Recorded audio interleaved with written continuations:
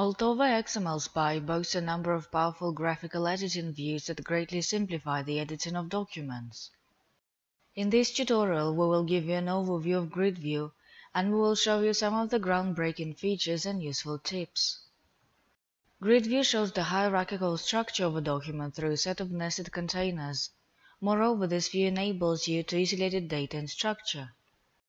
GridView is available for JSON documents, XML documents, and various XML-related technologies. The example we're going to work with is an XML file. At the moment, our document is displayed in text view. The file contains multiple book records. This file also has a schema definition. XMLSpy uses this schema to check the validity of our document. Now let's switch to grid view. As you can see, all the records are displayed collapsed, but you can easily expand and collapse any items to get a clear picture of the document structure.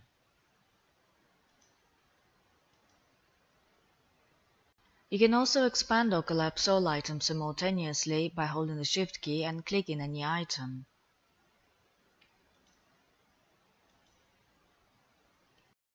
One of the biggest advantages is that you can get a bird's eye view of your document, and if you are interested in a particular record, you can hover over it.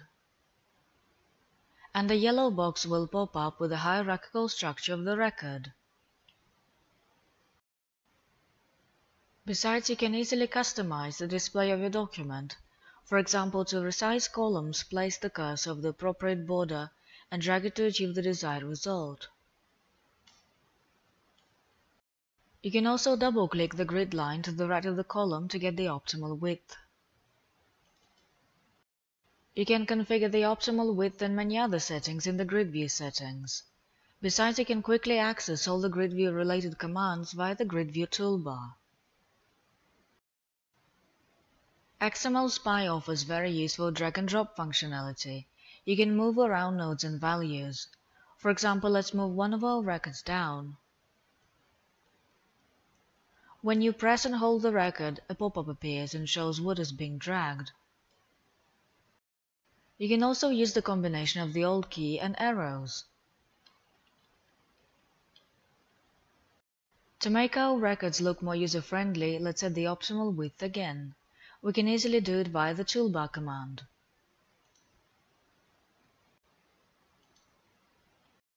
You can also drag and drop values.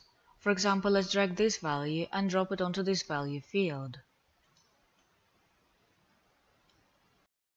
As a result, the first value is gone, and the second value has been overwritten. Actually, you can also drag a value holding the Control key. This way you can quickly copy values. By the way, have you noticed that every item of the element sequence has a sequence index? This makes it much easier to navigate the file and trace the number of records. Another great feature we would like to highlight is called Smart Insert. Remember I mentioned the schema, so let's take a quick look at it. The genre element has an enumeration facet that allows defining a list of possible values. Let's switch back to the XML file. The last record contains most of the nodes but has no genre element, therefore the sibling entry helper has genre in bold.